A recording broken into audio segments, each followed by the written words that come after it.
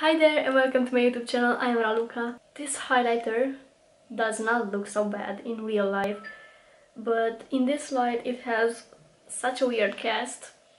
Whatever, Let, let's get over it. In today's video I'm going to show you how I do my mascara. Even if you think it's something obvious, like everybody knows how to apply mascara, I'm going to show you how I do it and um, what I do probably differently than other people is the fact that I apply two different mascaras.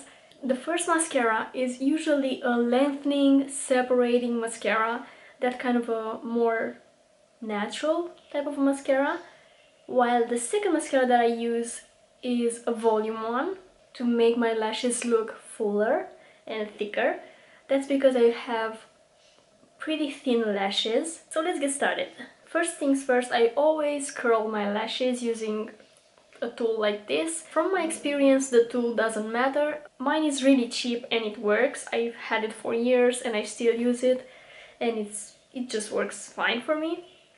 So uh, let's start with the curling. And I like tilting the curler like this to get the maximum curl. And after this I will, I will immediately apply the mascara and the first mascara that I'm going to use is the Benefit They're Real Magnet, the newer one because it's lengthening, like I said it separates, makes kind of a more natural lash, not that kind of a full clumpy lash. And let's see, I usually do the left and right motion to coat every lash. And this also uh, lifts the lashes a little bit.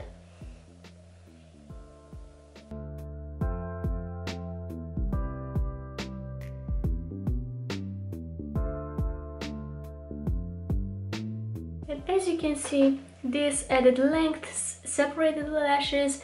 They look fine at the moment, but they're not as thick and voluminous as I want them to be. Oh, and also a similar option as a, something that I use as a first mascara would be the Maybelline Colossal. This again separates, adds length, but doesn't really give thickness to the lashes. And as a second option, some mascaras that you can use are these, the Better Than Sex mascara. This adds thickness to the lashes, the Size Up mascara by Sephora collection, and also the ABH Lash Brag.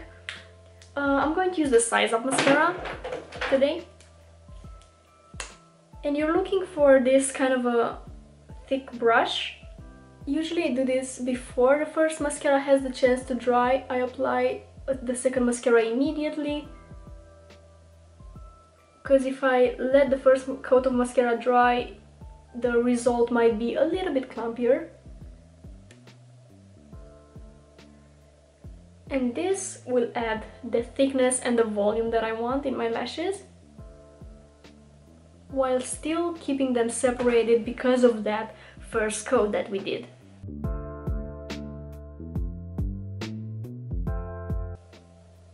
And forgot about the lower lash line, I'm going to apply the mascara here as well.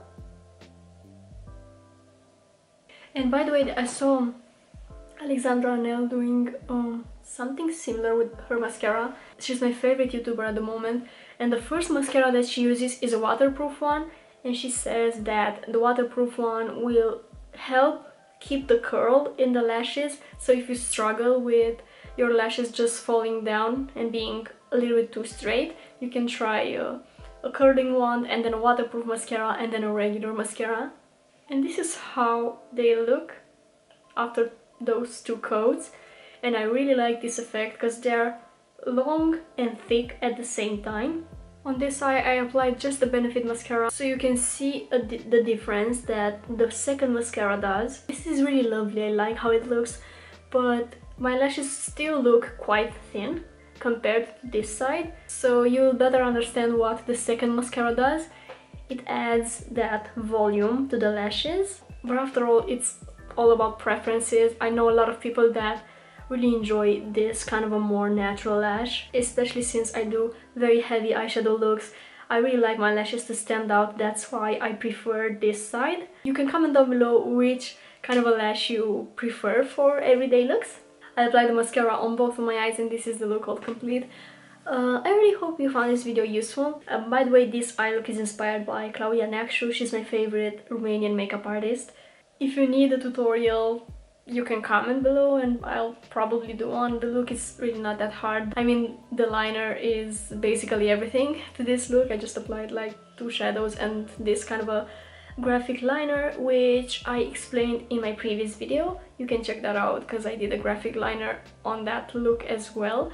I didn't film it today because I'm quite in a hurry. I need to go to work. So that's what I'm going to do. I hope you're having an amazing day. Here is snowing in April. I'm hoping for better weather. Thank you so much for watching uh, and I hope I'll see you in my next video. Bye!